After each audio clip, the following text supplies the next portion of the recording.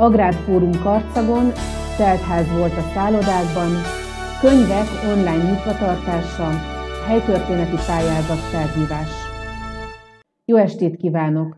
Önök a Nagykunsági Híradót, a Karcag Televízió napi hírműsorát látják 2019. november 5-én 18 óra 5 perckor.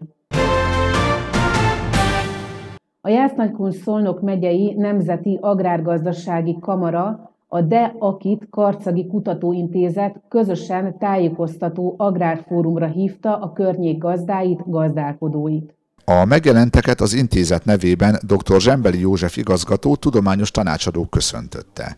Majd Hubai Imre Csaba, a Kamara megyei elnöke beszédében arról szólt, hogy a szakmai nap célja, hogy a gazdatársadalom megismerje ennek a tájterületnek a lehetőségeit és azokat az eszközöket, amelyekkel versenyképes, fenntartható állapotot tudnak teremteni.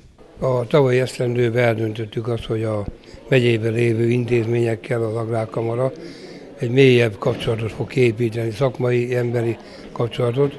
Ennek kapcsán ez az esztendő, ebben az esztendőben második ilyen jellegű rendezvény, ahol alaposan a helyzetnek megfelelően, felkészülten állunk rendelkezésre a gazdáknak.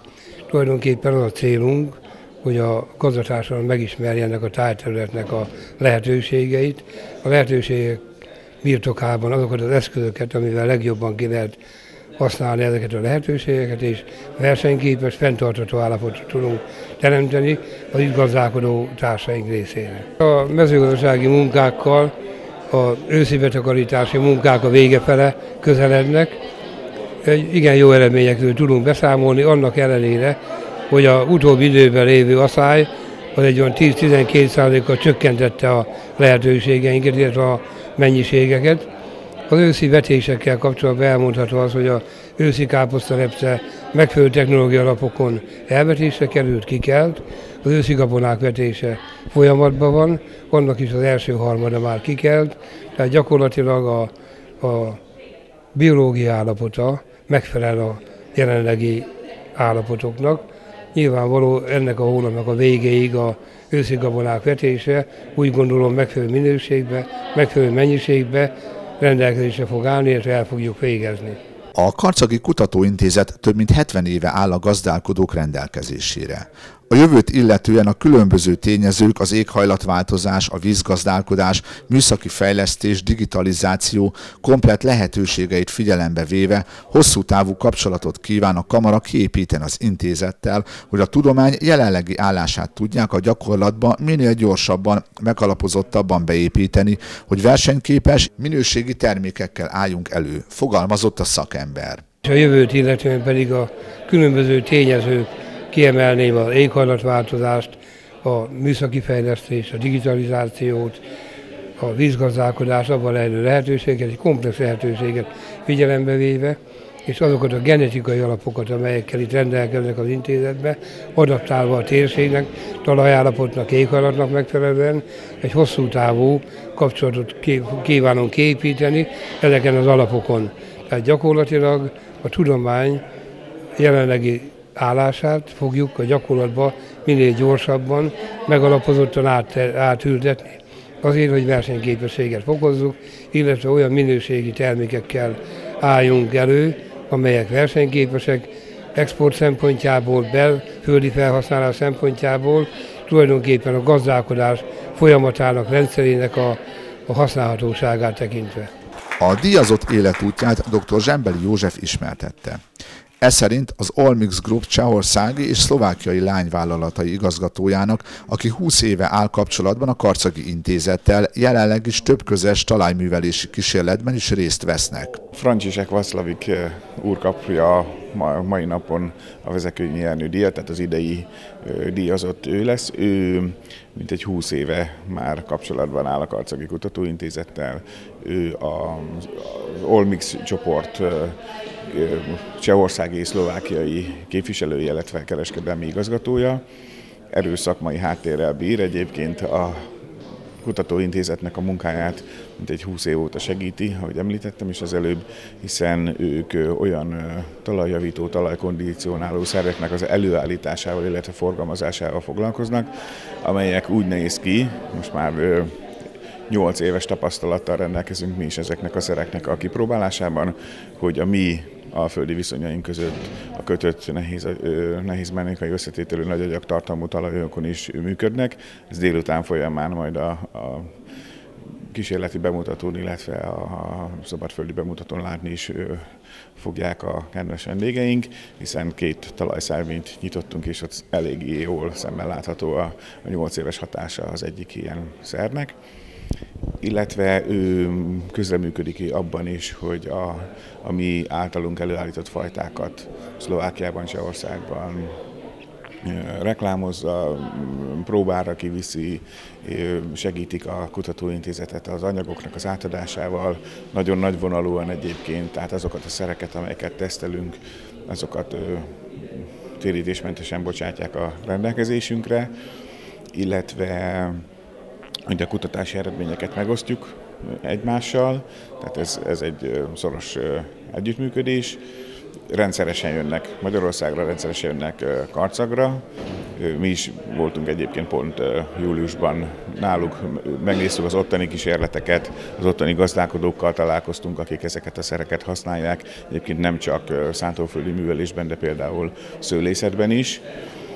És hát nagyon fontos eredmény a tavalyi évről, hogy ők bíztak meg bennünket azzal, hogy a, az általuk forgalmazott szerek közül ötöt Magyarországon tesztelve, mi teszteltünk, és így ugye kereskedelmi forgalomban hozhatók, tehát megkapták a nébik engedélyt a mi kísérleteink alapján. Szóval Franta, ahogy mi hívjuk, Franciszek Vaclavik úr, ő egy igen tapasztalt erőszakmai háttérrel rendelkező személyiség, de mint ember is egy, egy nagyon baráti, és egyébként ő morvának vallja magát, és nagyon szereti a, a, a magyar pálinkát, egyébként meg a karcagi szilva pálinkát is, úgyhogy azt mondom, hogy, hogy nagyon jó szakmai, illetve baráti kapcsolatban állunk vele én már 20 éve. A Vezekényi Ernő díj nyilván a Karcagi Kutatóintézet első igazgatójáról kapta a nevét, ő előtte is tisztelgünk ezzel. A, a díj az a Debreceni Egyetem Agrárkutató Intézetek és Tangazdaságának a díja, de nyilván a Karcagi Kutatóintézethez kötődik. Főigazgató nő fogja átadni ezt a díjat, így már ugye a negyedik alkalommal osztjuk ki ezt a díjat, tehát négy évvel ezelőtt alapítottuk. Egyébként Györfi Sándor szobrászművész, Kossuth és szobrászművész úr alkotása maga a, a bronz érem, amely egyrészt Vezekényi Ernőnek ábrázolja, másrészt a hátoldalon pedig, mivel ő búza nemesítő volt, gyönyörű szép búzakalászokat formál a díj, illetve szegletes ledneket is meg tudta Sándor szobrászművész formálni ezen, a, ezen az érben. Én úgy gondolom, hogy nem sok ilyen díj van, nagyon kevesen kapták meg, úgyhogy ennek, ennek igazán nagy értéke van. A diátadás után a talaj minőségének javításának lehetőségéről, az okszerű tápanyaggazdálkodásról is hangzottak el előadások, majd a karcagi nemesítésű alternatív növényeket mutatták be. Délután a gyakorlatban is megnézhették az intézet talajkondicionálási kísérleteit. Tele voltak térségünk szállodái a mostani hosszú hétvégén. Mindenki a medencékben fürdött vagy napozott. Az évvégi ünnepre már teltház van a legtöbb helyen, pedig folyamatosan érdeklődnek a vendégek, foglalnák le a szobákat, de már nincs, vagy ha mégis, nagyon drága. Ennek a karcagiak körében is népszerű hajdúszoboszlói szállodának vezetői szerint a programok és a szolgáltatások alapján választanak szállodát a vendégek. Valamelyes látszik a vendégforgalmunkon, hogy jó idő van, de azért arra azt el kell, hogy mondjam, hogy ahhoz, hogy az embernek teltháza legyen, vagy telítettsége legyen a szállodában, arra azért hamarabb kell felkészülni, és nem várhatunk az időjárás jelentésre. Szerencsére nálunk amúgy is viszonylag jó tendenciák vannak a telítettség tekintetében, holnaptól pedig teljes teltházzal megyünk egy tíz napon keresztül. Sokan választják most már minden évben a pihenésük helyszínéül ezt a szállodát. A mostani hétvégén is telt ház volt. A csoport például, aki hozzánk érkezik, ez közel 110 fővel jön, ennek körülbelül 50%-a az, aki gyógyszolgáltatásokat vesz igénybe, tehát hétfőtől nekik beindul a kezelések sorozata, a masszírozások, a wellness szolgáltatásaink igénybevétele, tehát kimondottan ezért jönnek hozzánk, hogy a gyógyvíz áldásos hatását kihasználják. Az év végére már jelenleg is közel 90%-os kihasználtságot vetítenek elő a hotelek. A Karcag TV információja szerint ezen a héten a vendégészakák nagy részét a pihenni vágyó családok töltik a hotelekben, míg az idősebbek jellemzően nem ezt a hetet szánták a kikapcsolódásra. De este természetesen egy kicsit a gyógyvíznek a jótékony hatásait fogjuk kihasználni, és holnapi nap pedig át fogunk menni a, a fürdőbe, és akkor megnézzük a, a fürdőnek az összes szolg medencéit, csúszdáit, bármi, ami működik még most, akkor ki fogjuk próbálni. A Minden Szentek napján programokkal várták a hozzájuk látogatókat.